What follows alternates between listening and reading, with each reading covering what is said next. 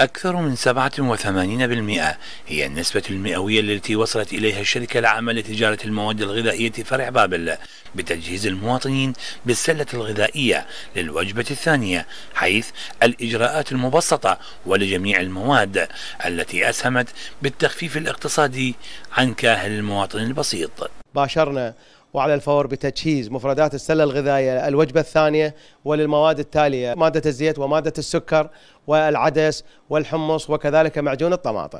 بالإضافة إلى أنه باشرنا بتجهيز مادة الرز للوجبة الأولى بعد وصولها للمخازن. والحمد لله الآن وصلنا مراحل متقدمة من التجهيز.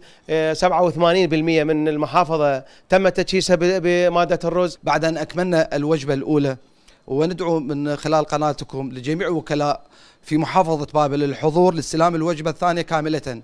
وكلاء المواد الغذائية أعربوا عن استلامهم حصصهم من الوجبة الثانية للسلة الغذائية داعين بالوقت ذاته بقية الوكلاء للإسراع بالاستلام خدمة للمواطنين. استلمنا السلة الغذائية الثانية زيت وشكر وزيت والشكر استلمناه والعدس والحمص والمعجون.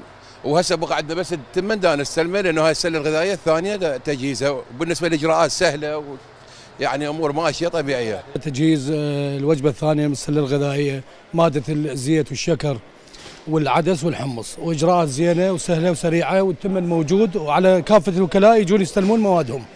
الحمد لله أشكر. تجهيز سريع.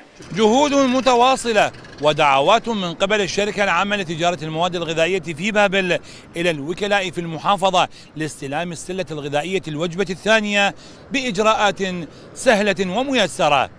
من باب العلاء الجراح العراقية الإخبارية.